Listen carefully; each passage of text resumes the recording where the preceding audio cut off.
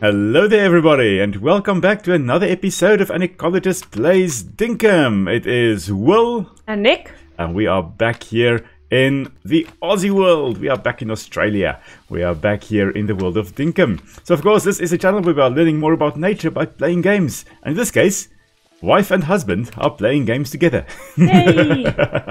So, last time we left off, the, uh, John was right about ready to move into his shop there.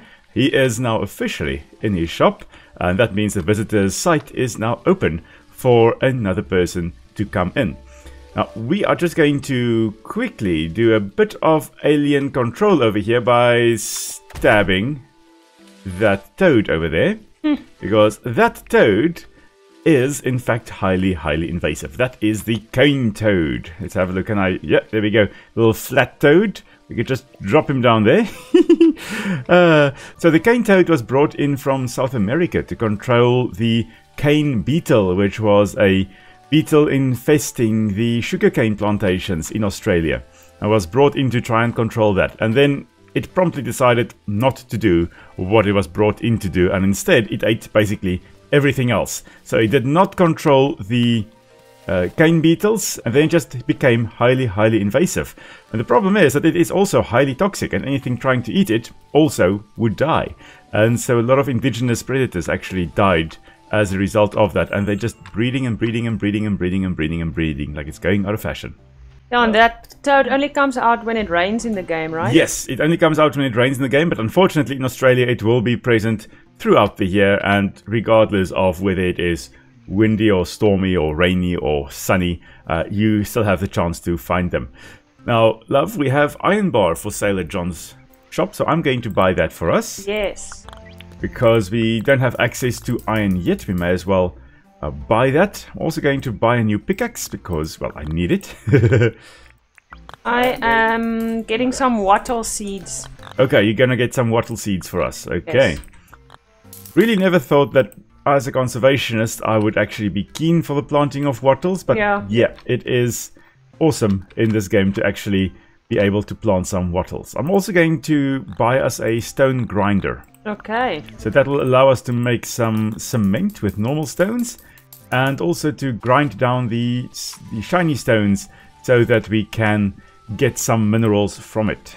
Just going to drop that shiny stone into the stone grinder and it's going to pop out three different things. Could be opal, could be copper, could be iron, could be tin, all kinds of materials.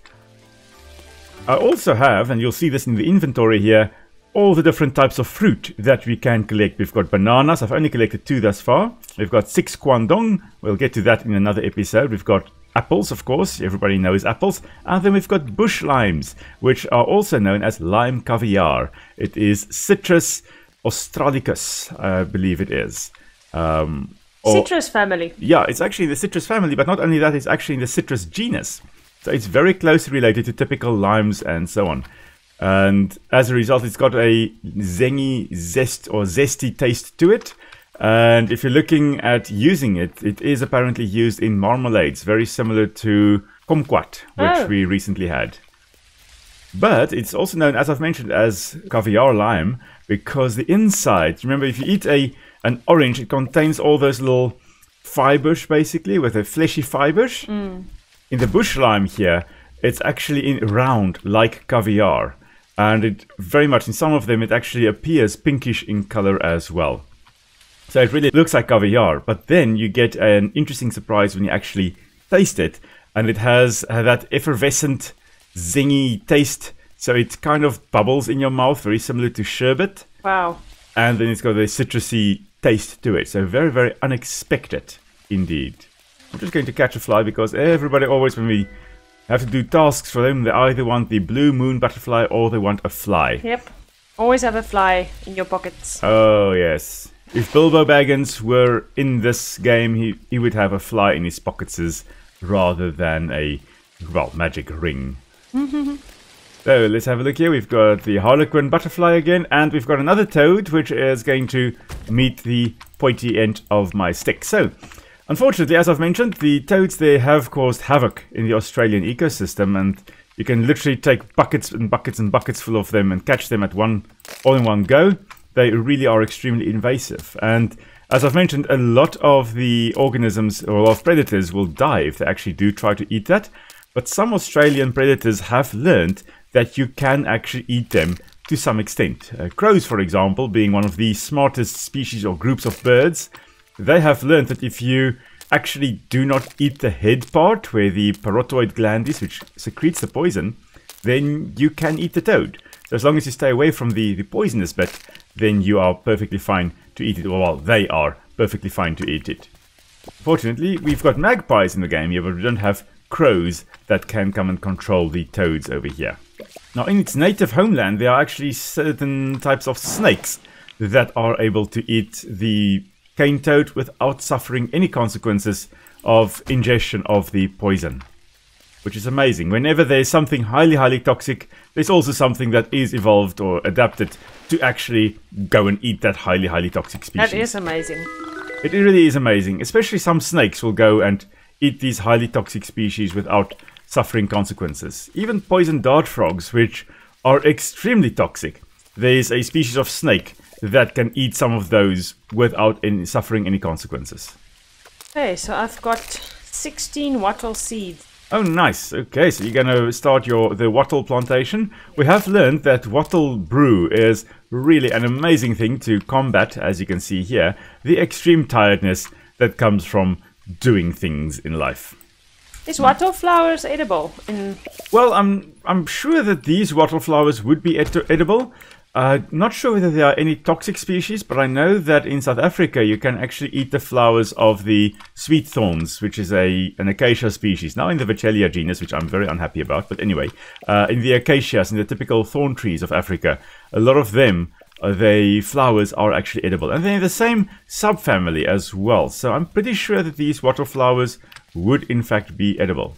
okay, But you can also make the bottle brush brew in the Yes. game, and I know you can also make bottle brush tea or iced tea. Yes, yes. So I'm pretty sure you can uh, do that. Actually, eat them. Just still eradicating the toads. I've got two here that I'm getting rid of. Doing the Lord's work here. getting rid of all the invasives in Australia.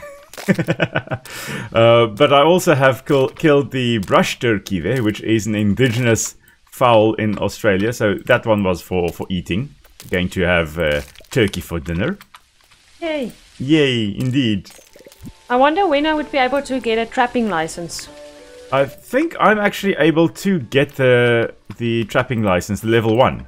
Yeah, what do you need? Um, hunting or I think you need to kill some creatures, yes. okay, on it.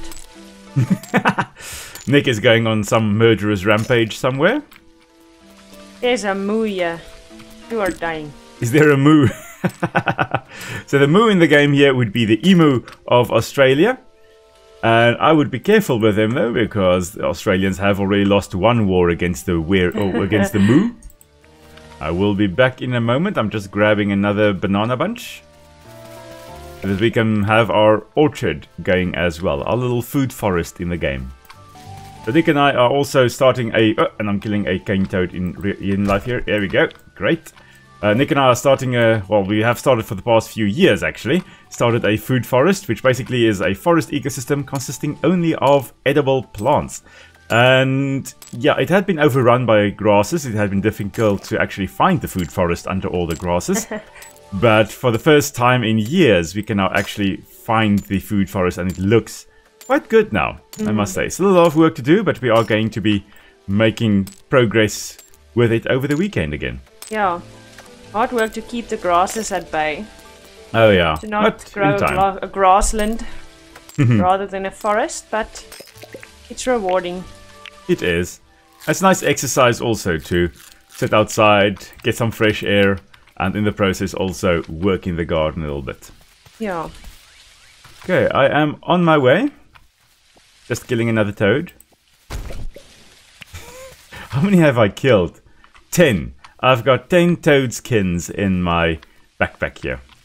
Single handedly, I am going to rid this continent of the invasive cane toad. You toad murderer. Yeah. In real life, I love toads, but I am re- greatly saddened by what the cane toad has done to the Australian ecosystem, and as a result, I am doing my best to keep this ecosystem relatively pristine. I don't know if you guys have noticed, but the pathways have changed. Yes, indeed. Because Will and I started also our own private game, and then we figured out these pathways are just so pretty. I couldn't resist. so uh, we we snuck in a little bit earlier and uh, just changed the pathways, and she's been busy building the pathways quite nicely here. Yes. I've got the trapping license. You've got the trapping license. Yeah. Oh dear. I needed to all get the- the hunting license first. Ah, yes, the crockies must now beware. Everyone must beware. Nic is going to start poaching with a vengeance. We do, however, need hardwood. Hardwood Ah. planks. Oh, yes, for that we need. Well, you can chop down the bottle trees. Yeah. I was thinking of getting the copper axes, but that's going to take a while, I think.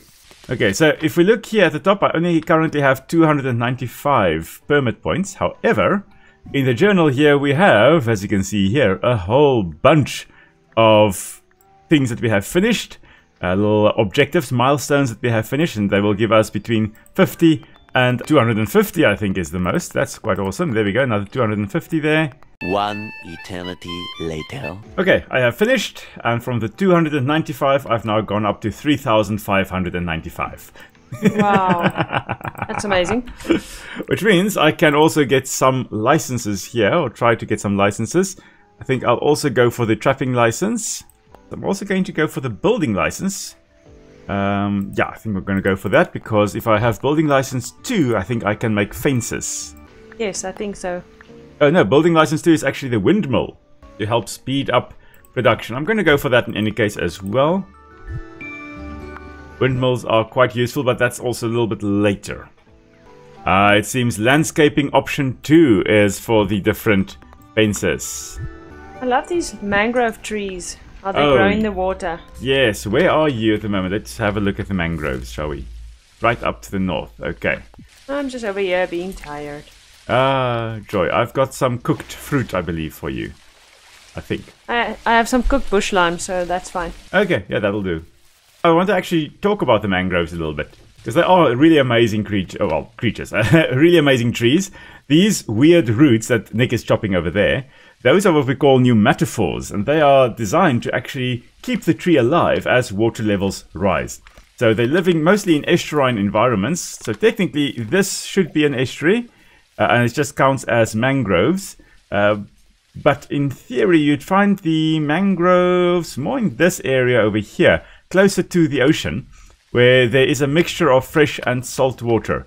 And then the trees have got adaptations that are quite amazing that allow them to survive in salt, salt-rich soils and water. But then at the same time, they also need to prevent themselves from drowning because if you take a plant and you put it in water, like these guys are standing, they are going to die. They're not going to survive. And so what these pneumatophores do, they are special roots that actually have little cells on them that they, as Nic stabs the jellyfish to death, uh, they actually help with gaseous exchange so that the plant can have water level right up to there. Uh, so as the high tide comes in, water level can rise right up to there, and they will still be able to get gases into the roots and down to the bottoms of their roots as well, so they don't drown. And then the tide drops, and then the whole root can breathe again. And it also allows them to grow in quite anoxic soils, soils which are really poor in oxygen and are typically very hydrated as well, full of water in between all these little uh, soils in the air pockets. So quite cool, quite well adapted for life in the estuaries. What are these small little palm tree thingies? I'm not sure actually. I don't think they're spinifex that have actually grown up. Spinifex does appear to be an actual different grass like sage like plant. I will need to find out exactly what they are. I'm not too familiar with the weird plants growing in Australia and New Zealand area. They do remind me very much of some of the plants you'll find in the alpine or the mountainous areas of New Zealand, but I'll have to check. They're not New Zealand flax, I think, which I initially thought they could be. I'm just going to quickly eat something because apparently my little one has decided that life is not worth living. Unless you can take a nap. But Prickly Pear has fixed that right up. Of course, chopping down eucalyptus at the moment. Now, the weird thing about eucalyptus is that they do not need a lot of water in order to survive, and, and they can therefore grow in relatively arid areas. But if there is a lot of water available, they will literally take as much of it as they possibly can. And the idea is that they are trying to create a little desert around them over here. So if there's very little water available, this eucalyptus over here will use water extremely sparingly. But if it rains a lot, like it currently is in the game, and there is a lot of water available, this eucalyptus will take it all up because it doesn't want anything else growing under it that can then potentially compete with it for water when water is scarce or can take up nutrients that it wants for itself. So it's a way of ensuring that nothing else can actually grow under it. They're quite ingenious, and that's why very often if you have a whole lot of eucalyptus in an area, there won't be a lot of water in the soil and there won't be a lot of plants growing there either. What that also means is if they invade an area, like they do in South Africa, they will take up all the water, especially if you are in a catchment area where there is a lot of water normally available. Yeah, these guys will take most of it up and cause a bit of a shortage downstream potentially. So there'll be less water flowing in the rivers and all those nasty things. Hello, little turkey. I will not be stabbing you today. We're trying to live off the land in a relatively sustainable manner. That turkey was saved by some magic forces. Yes, I am known in my game with Nic. Um, yeah, I have killed a whole bunch of turkeys. Yes, he's a turkey stabber. Yes, it's what I do. But you know, when people are watching, I shouldn't be doing that. oh, speaking of which, I did just hear a toad. Where are ya? There you are. By our tent is another one. I guess not for long. Oh, here's a crocky. Still not sure whether it's saltwater or freshwater. Could actually be both. You know, not necessarily has to be the one or the other. Cool, so they can actually survive salt and fresh. Yeah, so there are actually two species of crocodiles in Australia. There's the saltwater crocodile, which is the one, the big old salty that people are often referring to. And they are, I think, the biggest crocodile. Yes, they are the biggest crocodile in the world, uh, crocodile species. With the black caiman from South America and the Nile crocodile from Africa being close seconds. But yeah, the saltwater crocodile is slightly larger. But then there is also the freshwater crocodile in Australia as well, hmm. which doesn't go into the saltwater environment. It's generally in the rivers and billabongs, and then the saltwater crocodile can be in the freshwater, and then of course they can also go out into very, very salty environments as well. I think I am pretty much ready to go to bed, my dear. Okay. Good night. Coming. Just cutting down some ferns and some bushes okay. for seeds. Uh-huh. I'm just storing a bunch of stuff. Right, so we should have our second visitor popping up here, which will most likely be Theodore. Probably, For the yeah. museum. So Yes. let's just have a quick little squiz inside. Yep, it is indeed Theodore. He is going to start a museum on our little island over here. But this, everybody, is where we are going to be calling it a day. So thank you very much for joining us on our little adventure. Apparently Will is sleepwalking. So thank you once again for joining us on our little Australian adventure here in Dinkum. Really an amazing game. I would definitely recommend actually getting it, trying it out for yourself. It's in early access, but yet there is still so much to do here. And we will be back next week with another episode. Tomorrow, of course, I will be streaming uh, again with Planet Zoo, going to continue on with the little zoo that we've got there. I've got an idea of a few little creatures I want to put in there, so feel free to join me there. The times for that will be down in the description below. So until next time, everybody, this is Will. And Nic, Stay safe, everyone. Bye. We'll see you guys soon. bye. Bye.